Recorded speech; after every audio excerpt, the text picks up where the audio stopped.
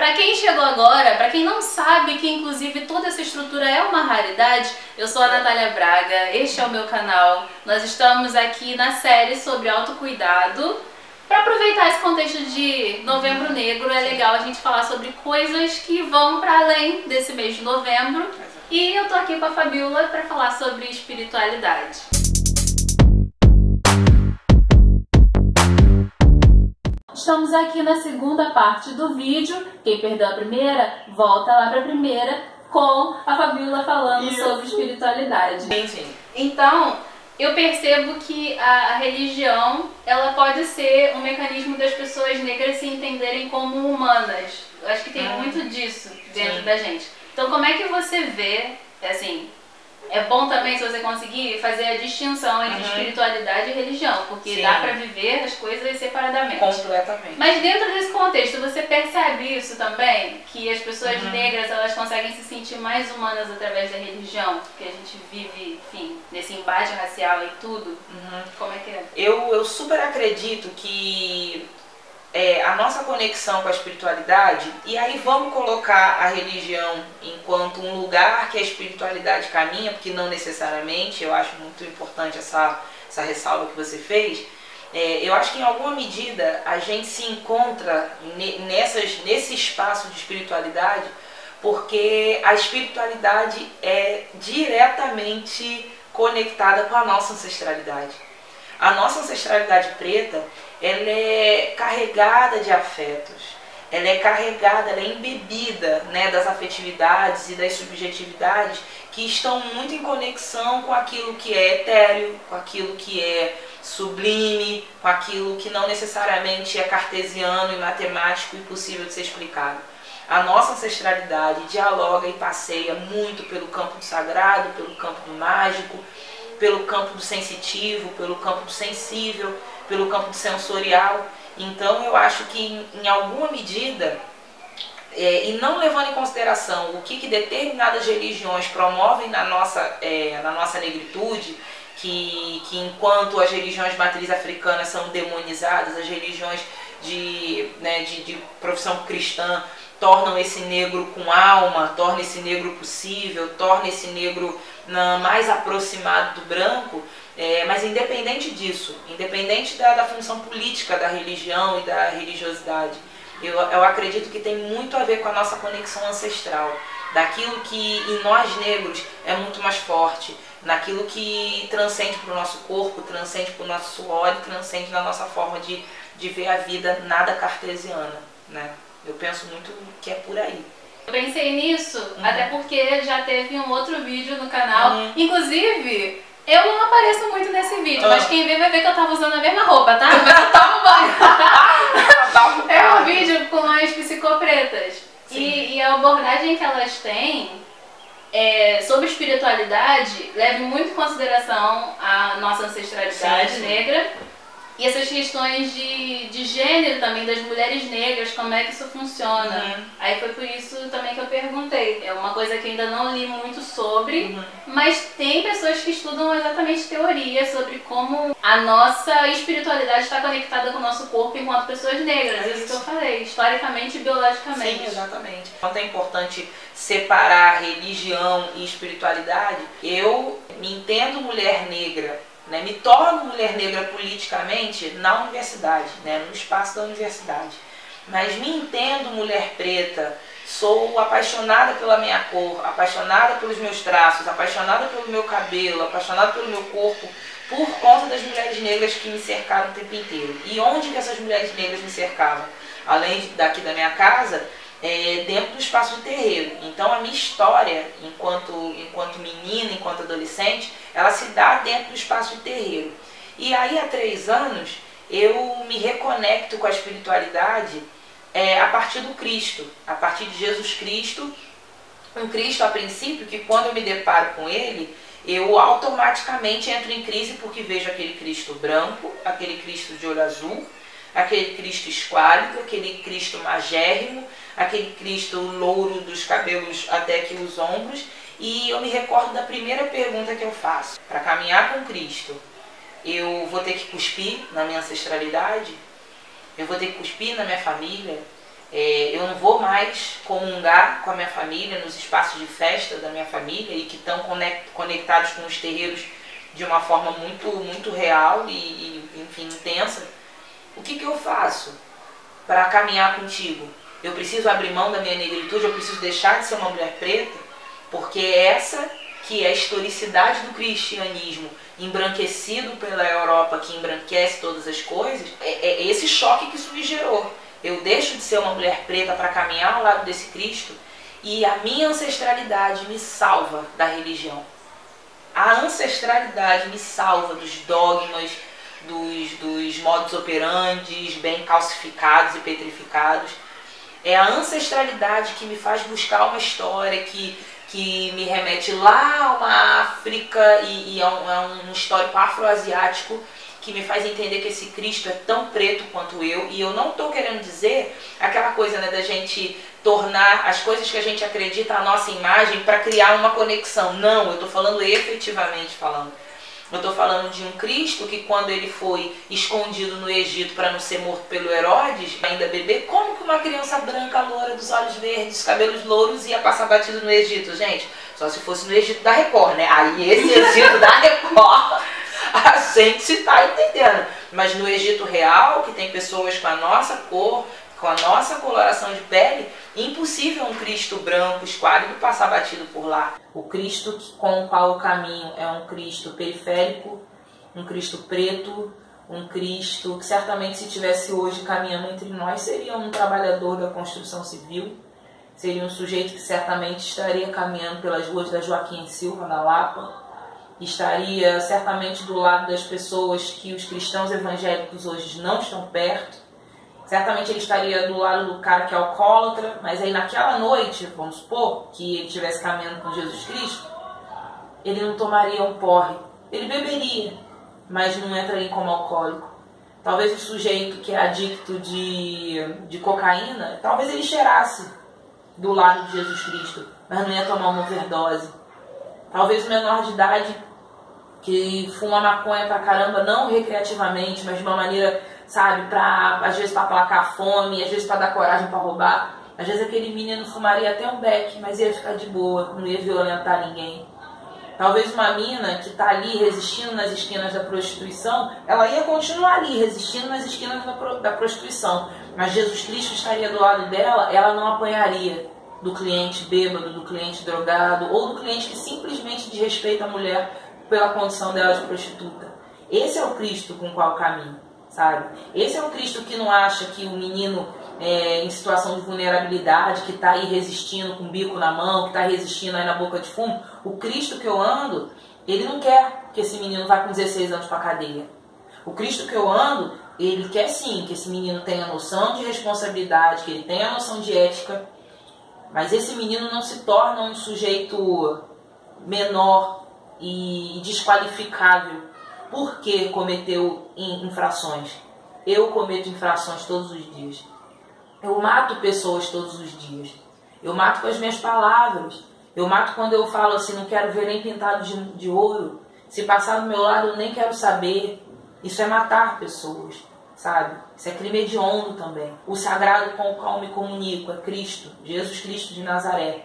Mas por causa da minha caminhada com Cristo, eu reconheço que existem pessoas que se reconectam com o sagrado das mais variadas formas. Seja um infográfico nisso, né? Eu vou conseguir desenhar em casa fazendo um pente, né? Isso. Não, mas é muito louco, não é verdade? Assim, é só. Eu por... entendi, vamos ver se eu entendi, né? Que é um uhum. sagrado que existem vários caminhos diferentes. E é isso, por isso que o seu é você lê como Jesus Cristo, mas outras pessoas percebem esse mesmo sagrado através de outras vias. Eu é creio isso. nisso, eu creio. Eu creio que Cristo, o que eu creio é que Cristo, ele é o grande guarda-chuva disso tudo. Essa é a minha cosmovisão. E como é que foi para você se respeitar e se ver nesse Jesus Cristo que aparentemente de início tem esses uhum. olhos verdes, azuis e os cabelos longos que você vê aí em qualquer quadro de parede de vó. É, eu tenho tentado é, descolonizar meu pensamento.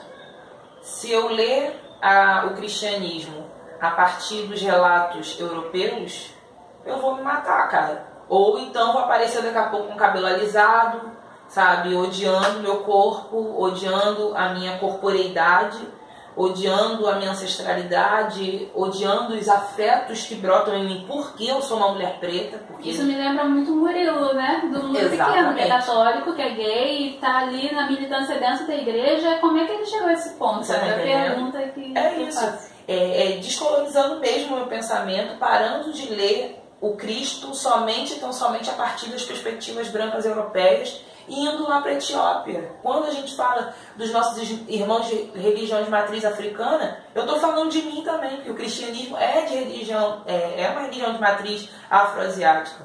Porque, inclusive, na própria Bíblia, fala lá, um dos apóstolos, né, na visão que teve do Apocalipse, ele viu aquele, o, filho, é, o filho do homem assentado à direita que tinha a pele é, da cor do sardônio. Sardônio é um mineral que você já viu a cor do sardônio? Depois você baixa não, no Google e bota é, assim. é marrom. É marrom. É marrom. Eu não preciso matar o meu corpo, porque se tinha um maluco bolado do rolê, era Cristo. E a religiosidade ela é um campo absolutamente fértil para a crueldade, para a perversidade, para o apagamento da existência das pessoas, para o apagamento das subjetividades das pessoas. Aí vem Jesus Cristo e arrebenta com isso tudo. Ele revira essas mesas com esses tratados todos muito bem postulados em cima da mesa, revira tudo e está procurando gente para se conectar. E quando ele se conecta na gente, a gente procura psicólogo se precisar, a gente toma remédio se precisar, mas vai buscando as possibilidades alternativas, muda de alimentação, muda de hábitos, de ciclos de amizade, começa a ouvir mais música ou então outro tipo de música, sai para rir. Para rir é salutar, rir. Se preocupa menos com o, dia, com o dia de amanhã e se preocupa mais com o teu hoje. Eu não estou falando aqui de abolir planejamentos e tal, não, minimamente não. É, de tal balde. Né? Ia virar hippie vendendo sanga na praia, sabe? Quer dizer, se quiser também, pode, cada um faz o que quer da vida, mas é, é minimamente entender que se a gente coloca muito amanhã no nosso dia de hoje, a gente fica simplesmente sufocado e morre. E o que tem mais é a mulher preta morrendo.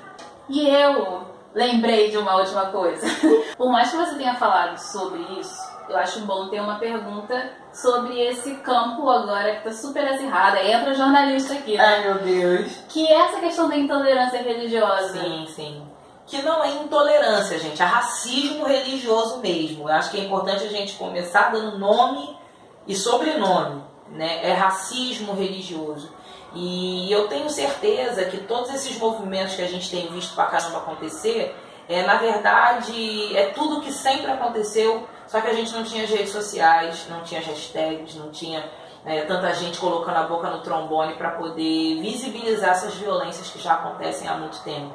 Eu acho que em alguma medida a gente já falou né, do que o racismo promove dentro dos espaços eclesiásticos em termos de demonização da, da religiosidade, da espiritualidade do outro. Mas esse outro que é, que é, é demonizado, invisibilizado, desqualificado, ele tem uma cor específica. Porque é uma coisa até que na minha antiga igreja, quando eu tive a oportunidade de, de dar um seminário lá, é, falando sobre cultura, evangelho e lei 10.639, né? É, eu lembro de ter perguntado, eu mostrei no slide a foto do Thor, aquele deus da mitologia grega, né? Com que tem um martelo, né? Quando ele, ele fica irado, ele bate, aí dá ralho pra tudo quanto é, canto e tal, não sei o quê. O Thor violentíssimo e tal, pá. Mas por que, que se a gente falar do espectro, né, do espelho praticamente mitológico de Thor, que é Xangô, por que, que dá ruim? Crianças evangélicas, aí eu falando especificamente de crianças evangélicas, porque eu sou né, evangélica. Crianças evangélicas têm festa de um aninho do Thor. Tem crianças evangélicas que, cujo nome é Thor. Denúncia. Né? Denúncia.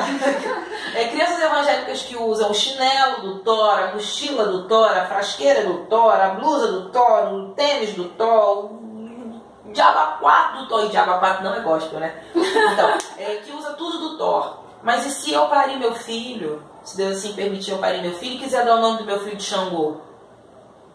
Vai dar ruim. Mas é o mesmo aspecto mitológico.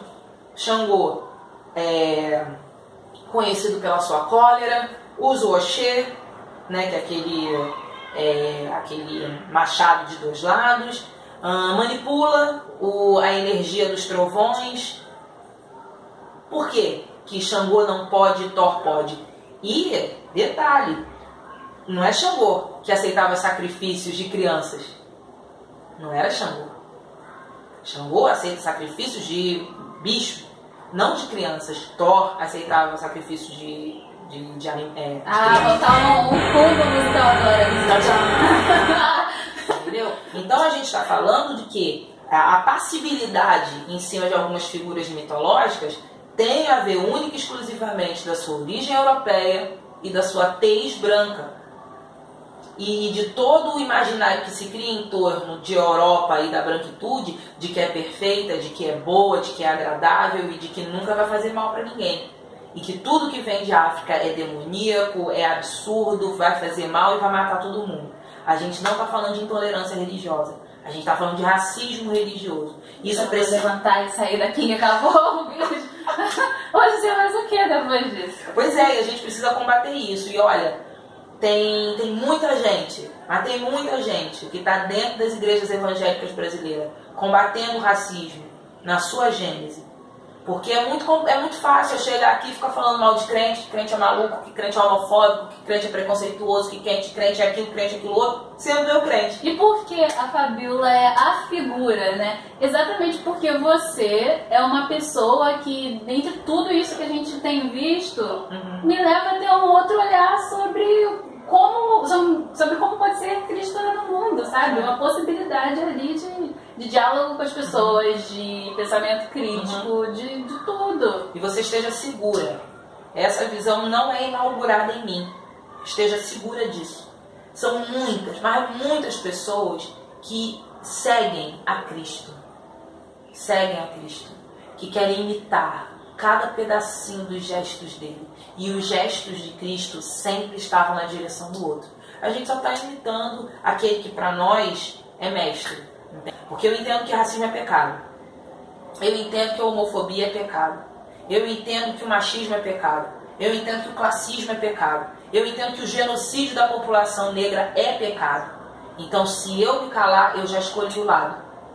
Eu já escolhi o meu lado. Se eu ficar quieta, se eu me omitir, eu já escolhi o meu lado. E é sempre o lado do opressor. E é o lado completamente antagônico, diametralmente oposto do lado que Cristo está. Mas então, é isso. Agora, para encerrar, Fabiola, fale sobre os seus projetos, suas áreas de atuação uhum. e como nós fazemos para poder entrar em contato com você, comentar diretamente com você, é claro que aqui nos comentários do vídeo também, uhum. mas como ter certeza que Fabiola vai me responder essa grande questão que deve estar em vocês agora?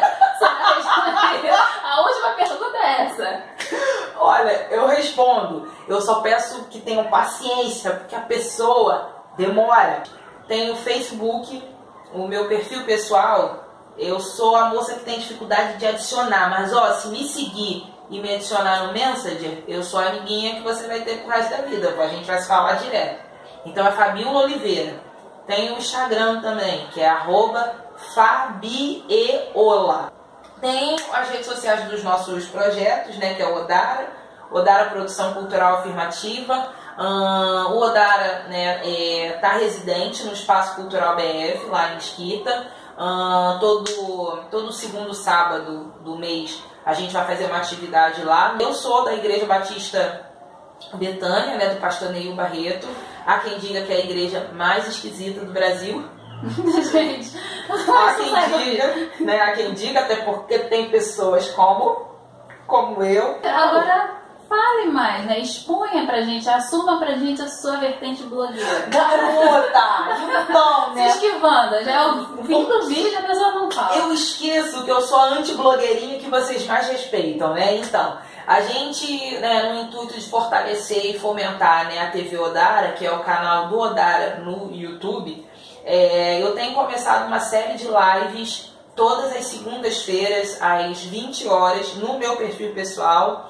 E como meu perfil é aberto, dá para você acompanhar a live já me seguindo, então seguindo você vai receber as notificações.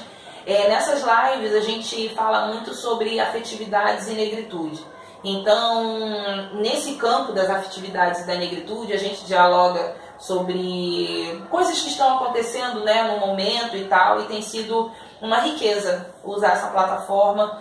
Eu entendo que a nossa blogueirice, né, ela caminha nesse lugar, né, do compartilhamento do afeto. Então, quem puder estar com a gente aí fortalecendo essa caminhada, eu vou ficar muito feliz.